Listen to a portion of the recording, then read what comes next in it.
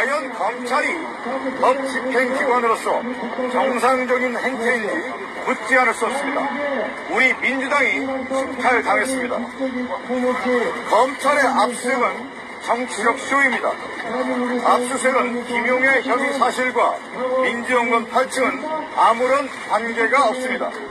절대 거기서 나오지 말았어야지. 나오면 내가 죽인다는 거 몰랐어? 세상에 나와서 알리고 싶었어.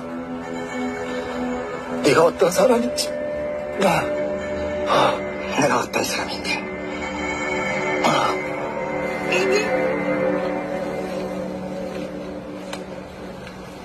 또 너,